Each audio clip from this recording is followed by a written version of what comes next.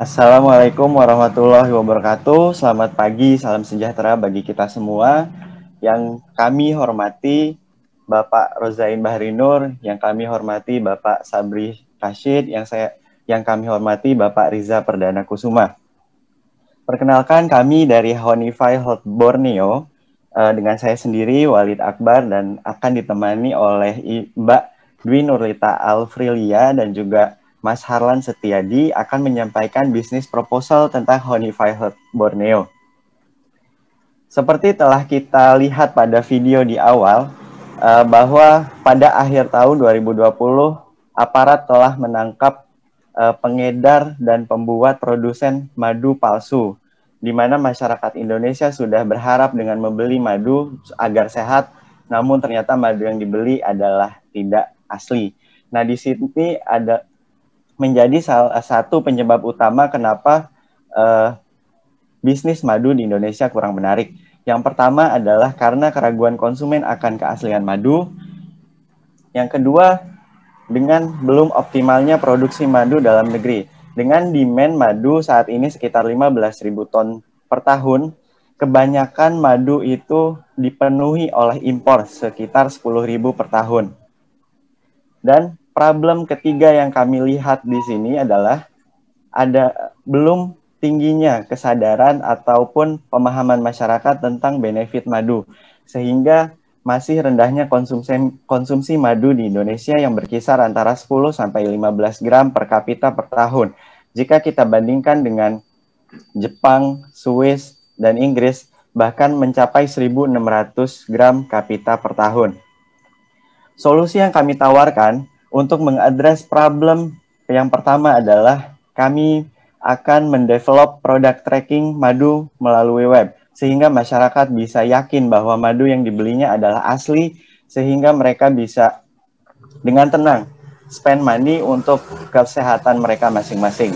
Yang kedua, dengan memproduksi madu dalam negeri menggunakan brand Honeyfy Health Borneo dengan beberapa variasi honey based product. Yang ketiga adalah dengan kita akan meningkatkan pemahaman terhadap benefit madu untuk masyarakat Indonesia melalui knowledge sharing baik melalui web, workshop maupun melalui uh, community development yang di sini kami sebut mompreneurship. Untuk selanjutnya akan dilanjutkan dengan video dan uh, oleh Mas Harlan.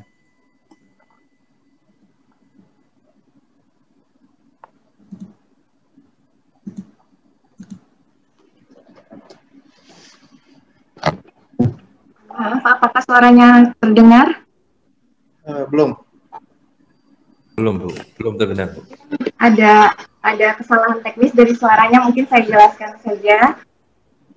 Uh, berikut produk kami, ada sensor candle, sebelumnya ada lozenges, dan ada juga produk alami uh, madu itu sendiri.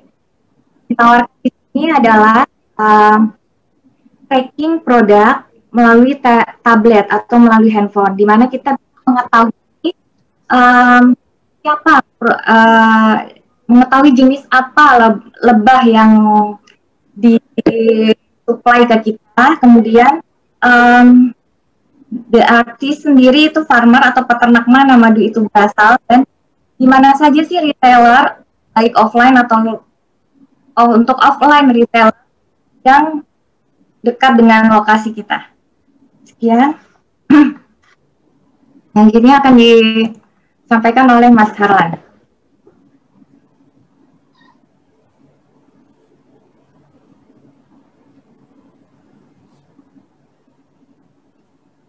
Ya, terima kasih uh, Mas Walid dan Mbak Lita. Jadi seperti sudah dijelaskan dari oleh Mas Walid dan Mbak Lita tadi, Pak. Jadi uh, value proposition kita di sini adalah madu alami Indonesia untuk kesehatan, sehingga yang benar-benar kami tekankan adalah originalitas dari madu kami. Lalu bagaimana kami menggaranti juga keoriginalitasan dari madu kami itu? Kedua adalah tadi solusi yang di-provide oleh Mas Walid, yaitu penggunaan kode produk untuk tracking dari petani sampai ke konsumen yang bisa dicek melalui web, web atau app Lalu yang ketiga adalah kita juga akan melakukan pemberdayaan uh, masyarakat Indonesia dengan beberapa partnership yang akan uh, kita buat ke depannya.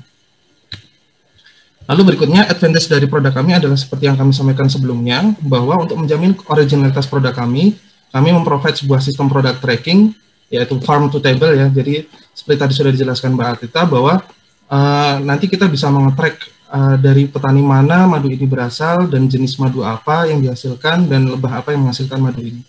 Lalu uh, option dari uh, produk kami nanti akan bervariasi dari tahun, uh, tahun ke tahun nanti kami akan launching produk-produk baru.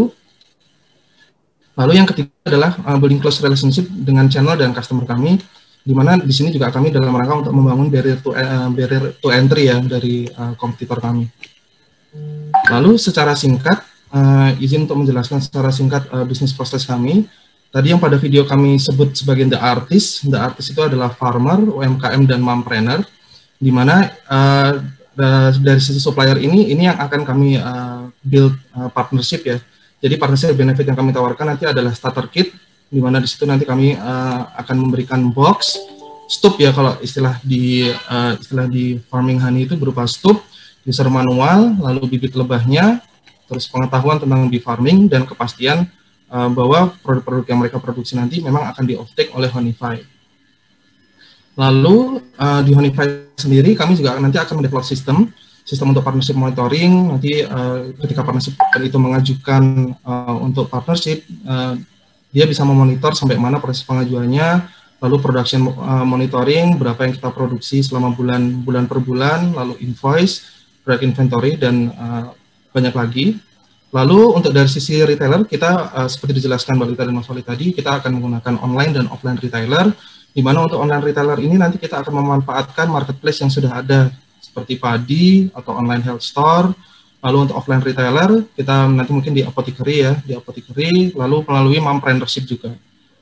Nah, lalu uh, di end customer, end customer ini uh, kita juga akan memprovide uh, tadi yang sudah disebutkan produk tra product tracking dari farm to table.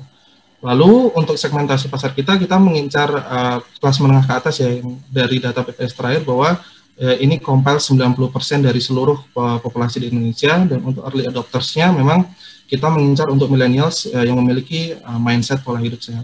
Lalu di setiap step dari bisnis proses ini kami juga akan melakukan proses audit, di mana proses audit ini uh, tidak hanya untuk fungsi compliance, bahwa memastikan bahwa produksi dari uh, produksi dari madu kita ini uh, terjaga keoriginalitasannya, namun juga menjalankan fungsi konsultansi di mana nanti uh, para tenaga kerja Hunifa yang melakukan audit terhadap masing-masing bisnis ini juga akan melakukan pendampingan kepada uh, farmer, UMKM, dan mompreneur yang sudah menjalin kerjasama dengan kami.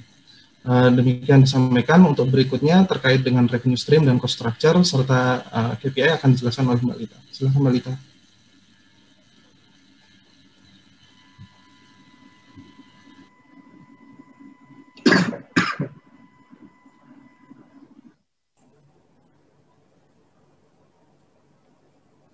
Selanjutnya, saya akan menjelaskan dari sisi finansialnya.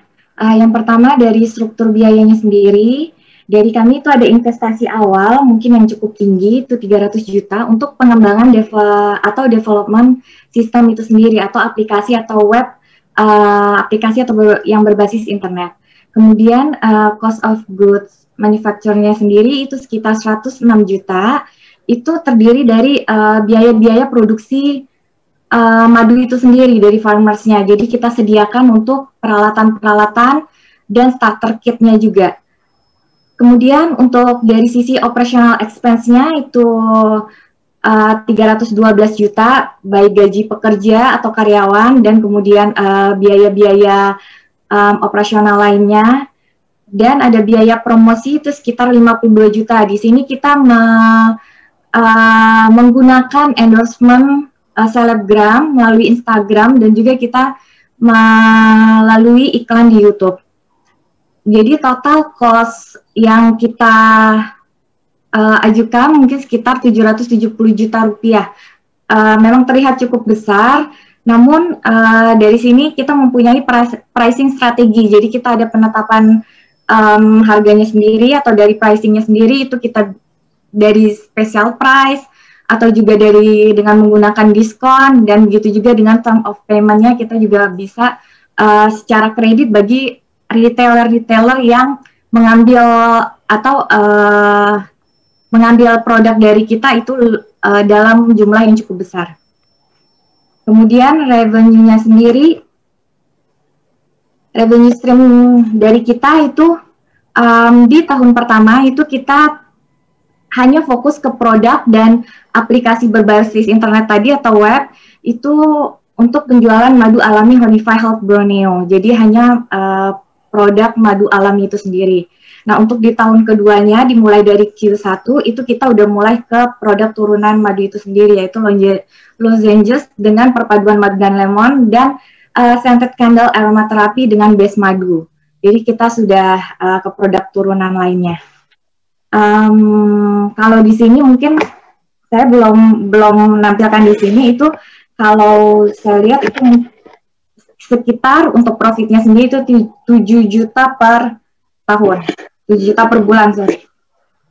Kemudian um, key performance matrix. Uh, kalau yang disampaikan sebelumnya mungkin dengan Pak Rozain itu kami mencoba mengelaborate untuk dimulai dari objektifnya. Objektif kita sendiri itu ada tiga, kita ambil perspektifnya yaitu dengan uh, mempertahankan customer satisfaction index. Nah, kemudian yang kedua dengan mempertahankan competitiveness, yaitu melalui um, di, di cost increase dan cost cost leadership dan sales increase, sorry, untuk critical success faktornya. Kemudian yang ketiga itu menyediakan uh, kesempatan bisnis untuk mensupport mompreneur. Nah, untuk yang faktor uh, CS, CSF-nya sendiri itu untuk yang pertama itu dari kita melihatnya dari quality control dan service kita itu sudah baik apa belum. Untuk yang poin kedua itu kita harus melihat dari sisi biaya dan pendapatan dan yang ketiganya kita melihatnya dari sisi budgetnya. Nah, budget budget training dan development untuk si mompreneur ini sendiri. Yang menjadi KPI kita itu di poin nomor satu uh, tentunya customer satisfaction index kita itu skala 3 dari 5. Terus um, untuk net profit itu tiga persen dari revenue, di mana uh, sebelumnya mungkin sekitar 2.3 persen. Jadi kita akan mencoba untuk naik ke tiga persen dan nanti mungkin di tahun keduanya kita coba di lebih tinggi lagi. Kemudian di poin nomor tiga untuk profit bisnis kesempatan bisnis itu kita um, CSF-nya sendiri yaitu mengembangkan atau mengedukasi mompreneur. Jadi partnership dengan mompreneurs itu sendiri yang kita targetkan. Jadi tidak ada tidak ada amount di sini atau angka atau number gitu. Jadi di sini adalah kita fokus ke mompreneurship-nya sendiri. Um, sekian presentasi dari kita. Ya, terima kasih. Ya, uh, kami. untuk passion kami adalah kemurnian madu Anda, Bapak Ibu semua. Madu Anda. Terima kasih. Terima kasih, Bapak.